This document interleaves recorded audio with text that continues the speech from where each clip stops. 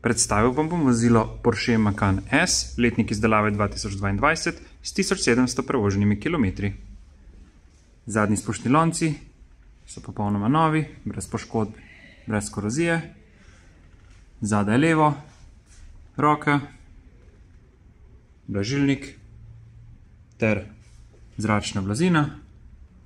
Vse v odličnem stanju.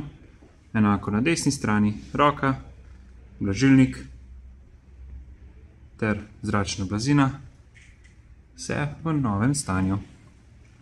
Diferencial zadaj je brez poškodb, nikjer ne pušča.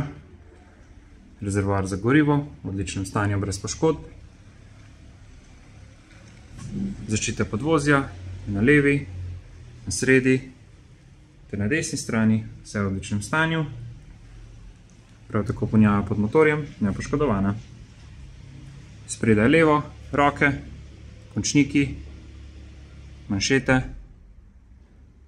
ter zračna blazina, odlično ohranjeno. Enako na desni strani, roke, končniki, manšete ter zračna blazina, vse praktično v novem stanju.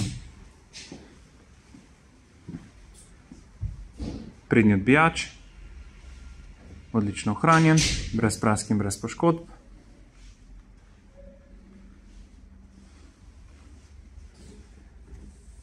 Platišče spredaj levo, brez poškodb in brez prask.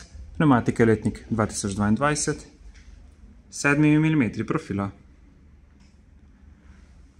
Prag vozila na levi strani brez poškodb.